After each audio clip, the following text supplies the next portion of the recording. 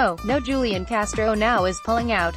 There goes the Latino. Hasta la vista. Earlier, Kamala Harris dropped out. For those who fantasize that she is African-American, there went the African-American, whose lineage actually hails from Jamaica, dead, and India, mom.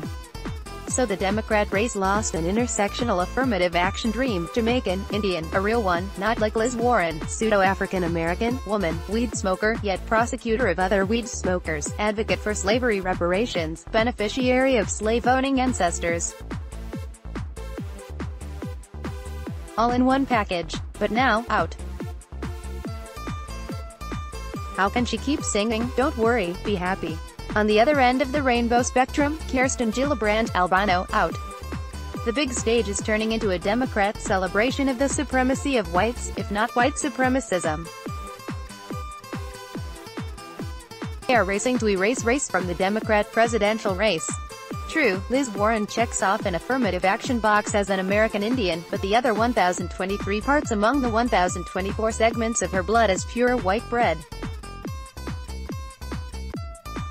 Not a grain of wheat germ or bran. Processed and Harvard-ready with calcium propionate to retard spoilage as this white bread Indian has entered her 70s, making her age-eligible for this year's Democrat field. All the color has been bleached out of the field. As for Andrew Yang, just listen to all the voices of Democrat race peddlers, not a one of them regards Yang as a person of color, POC. As the Harvard Law School admissions court case recently demonstrated, Asians just don't count. They study hard, they achieve mightily, they contribute spectacularly. But in the world of intersectionalism, they are just there for the using. When you need one to be a POC, you pull one in. When you have a point to make about exclusion, you treat them as people of privilege. In the world of racial political correctness, yang, which translates as the bright side, or the sunny side, is just not their yin, literally, the darker shady side. In the world of Democrat diversity circa 2020, Andrew Yang has been filed as one more crazy rich Asian. No color. Hey, if one wishes to grasp at non-plastic straws, there still is Cory Booker. The memo to drop out still has not reached Spartacus at Gladiator Academy, but the moment of departure looms. The Democrat powers have made clear that, under their rules, he simply does not merit standing on the stage with the white people. Indeed, the Democrat race is starting to look as pearly ivory as other iconic liberal institutions, the Hollywood Academy of Motion Picture Awards, the publishers and people who run the New York Times, Washington Post, NBC, ABC, CBS, PBS, CNN, MSNBC, Huffington, Beast. Focus not on the employees but on the powers behind the camera, the men and women of white liberal privilege behind the curtain. Alabaster. If Irving Berlin were alive to put it to words, he'd be lyricizing about this year's unfolding field of remaining Democrat presidential aspirants. I'm dreaming of white-age Democrats just like the ones we always know. Where the scalp tops glisten and donors listen to hear gray dumbbells as they slow. I'm dreaming of white-age Democrats with every donation check I write. May your wine caves be merry and bright. And may all your press nominees be white. So what to do? Well, they can't throw out Bernie.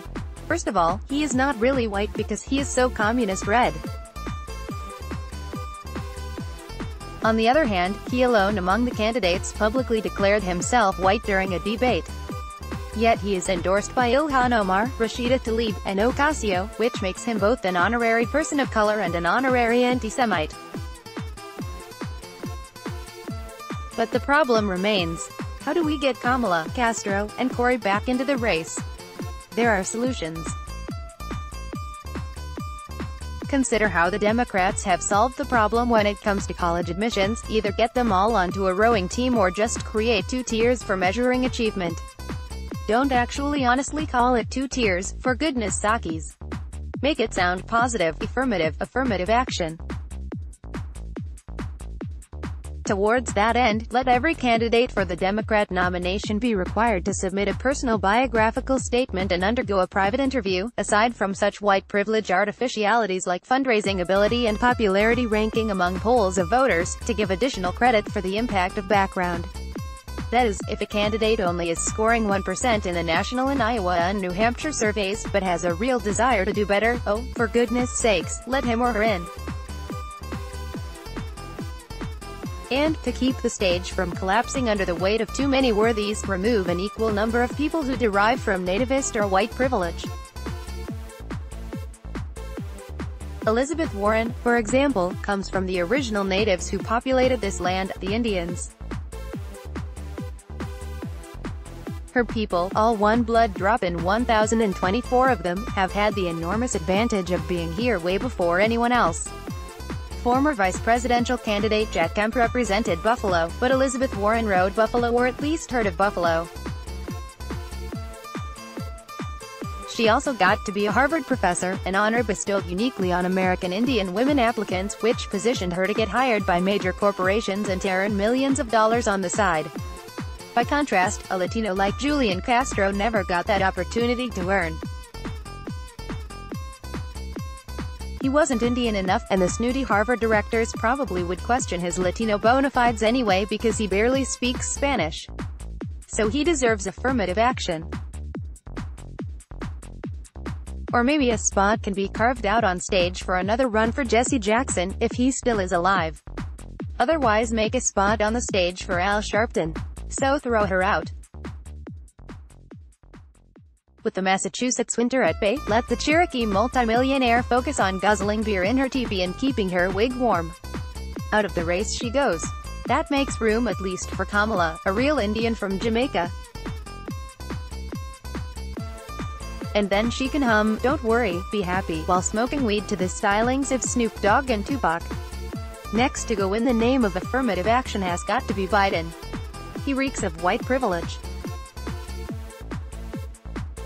Seriously, come on, man, what non-white conceivably would get to run for president as many times as Joe, especially as he becomes more incoherent and just plain bizarre each new time around? He often spoke of how, as a U.S. Senator in Delaware, he proudly represented a racist state. On top of that, when he stole someone else's life story as his own biography, the time he plagiarized Britain's Neil Kinnock in the narrative of his coal mining roots, he picked a white Brit. In the Senate, he worked closely with white, racist, segregationist Dixiecrats. He told Iowa voters that they are so much better than black people, like black mothers who barely ever talk to their children. It's all there, on the record. Besides, have you ever seen children in swimming pools or at beaches rub the leg hair of black lifeguards? Of course not. But Biden, the child of white privilege, he experienced it all, man. So throw him out. That makes room for Julian Castro again. In the age of Obama, what would the Democrats be without at least one of the Castro brothers?